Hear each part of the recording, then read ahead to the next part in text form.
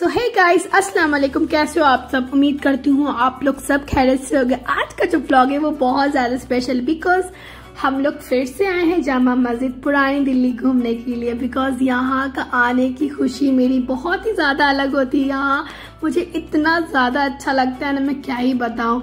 और मैं इनको हमेशा बोलती हूँ कि आप कहीं ले जाओ ले जाओ, मगर हमको पुरानी दिल्ली जामा मस्जिद साइड जाना बिकॉज़ वहाँ का खाना, वहाँ के माहौल मुझे बहुत अच्छे लगते हैं। और जामा मस्जिद को सामने से देखना में एक अलग ही सुकून मिलता है। तो यहाँ पे बस हम लोग मार्केट एक्सप्लोर कर रहे हैं और मार्केट यहाँ पे काफ़ी अच्छी अच्छी है, मीना बाज़ार एंड ऑल और यहाँ पे हमने रेट भी पता किया काफ़ी जगह शॉप पे जो हमें बहुत सही रेंज में दिखा। अगर आप शॉपिंग के मामले से जामा मस्जिद या मीना बाज़ार में आते हो तो ये बहुत बेस्ट है बिकॉज़ यहाँ पे आपको हर तरह की चीज़ें, इस्लामिक की चीज़ें, या जैसे सूट एंड ऑल जो भी है, हिजाब बहुत अच्छे अच्छे मिल जाएँगे। मतलब बहुत ही अच्छे आप लोग यहाँ पे इस्लामिक वॉल वाला भी आप देख सकते हो, कितना प्यारा प्यारा एकदम सही सही रेंज में। बहुत अच्छा लगा था। फिर उसके बाद हम लोग ने वहाँ मीना बाज़ार से निकल के फिर हम लोग जा रहे थे पुरानी दिल्ली, जो गेट नंबर वन है, जामा मस्जिद के सामने वाली गली। उधर हम लोग जा रहे थे बिकॉज़ उधर ही खाने का काफ़ी ज़्यादा है। तो यहाँ पे हम लोग रेस्टोरेंट से गुजर रहे थे। इतनी अच्छी अच्छी खुशबुएँ आ रही थी रेस्टोरेंट से। वाह मैं क्या ही बताऊँ। तो बस यहाँ पे हम जा रहे हैं। तो यहाँ पे मैंने देखा कि काफ़ी रेस्टोरेंट के बाहर काफ़ी मतलब गरीब लोग को खाना तस्कीम किया जा रहा था। ये बहुत अच्छी चीज़ें हैं जो आप लोग मतलब अगर आप कमा रहे हो ना, उसमें से अगर आप फिफ्टी या ट्वेंटी परसेंट भी आप किसी गरीब को खिलाते हो ना तो आपका बहुत ज़्यादा मतलब होता है, सदका जारिया है। ये बहुत अच्छा है, बहुत इतना सवाब है ना। मैं क्या ही बताऊँ, अगर खिला रहे हो या फिर डोनेट करो, पैसा ही डोनेट करो, यही, वही बहुत है। और उसके बाद हम लोग चले गए असलम चिकन असलम चिकन नए वाले नहीं, पुराने वाले में पुराने वाले के जो टेस्ट है ना, मैं बता नहीं सकती हूँ। हम लोग ने इतना कुछ खाया, अल्हम्दुलिल्लाह। बहुत ही अच्छा लगा।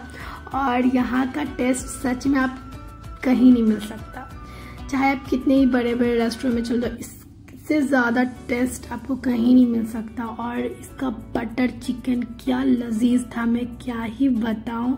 अगर आप लोग जब भी जाना ना, अगर आप लोगों को असलम चिकन खाना है तो अब मैं बोल रही हूँ आप लोग पुराने वाले में ही जाना बिकॉज़ ओल्ड इज़ गोल्ड और यहाँ पे हम लोगों ने सीख कबाब भी मंगाया था जो सीख कबाब भी बहुत लजीज था गाइज़ में मुझे अभी भी माउथ वाटरिंग हो रहा है इतना अच्छा लग रहा है देख के घी में मैं क्या बताऊँ।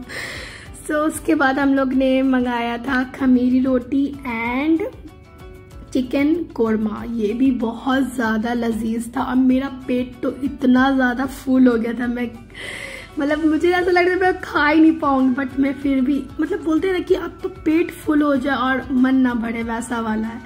तो सच में अगर आप लोग जाओगे ना तो ज़रूर जाना असलम चिकन ओल्ड शॉप पे। ठीक है? तो मैं खुद का ही बता रही हूँ, मैं खुद का ही रिव्यू आप लोग के साथ शेयर कर रही हूँ बिकॉज़ मैंने, मैं पिछले बार ही गई थी नए वाले में, जो मेरा मुझे मुझे बिल्कुल भी अच्छा नहीं लगा था वहाँ का टेस्ट तो जो है, सो है। और बस यहाँ से हम लोग निकल गए, और उसके बाद हमें लेना था कुरान मजीद, जो हमें मिल गई। तो बहुत मुझे खुशी हुई, जिस तरीके की मुझे चाहिए थी कुरान मजीद, अल्हम्दुलिल्लाह मुझे मिल गई और इन मैं इसे पढ़ूँगी, पूरा मुकम्मल करूँगी इन ताला। तो बस यहाँ से हम लोग ने लिया और उसके बाद इन्होंने बैग में रखा और उसके बाद इसे बैग को आगे की तरफ़ टांग लिया ताकि कुरान को पीछे की तरफ़ नहीं रखना चाहिए ऑफकोर्स और उसके बाद हमने चेकिंग कराया। चेकिंग में मैंने खुद कराया बिकॉज़ जब वो चेकिंग वाली होती है ना लेडीज़ पुलिस तो मैं उन्होंने बोल दी कि इसमें कुरान मजीद है, मैं मशीन में इसमें इसको नहीं रखूँगी। तो उन्होंने बोला, ठीक है मैम आपका चेकिंग हो गया, आप जा सकती हैं। तो उसके बाद हम लोग बस मेट्रो स्टेशन में हम लोग चेकिंग वेकिंग हो गया और उसके बाद हमारी मेट्रो की हम लोग वेट कर रहे थे और हमारी मेट्रो आ गई जामा मस्जिद के। और उसके बाद हम लोग घर चले गए। अब मिलते हैं नेक्स्ट ब्लॉग में। आप लोगों को कैसा लगा मेरा ब्लॉग कमेंट करना। बाय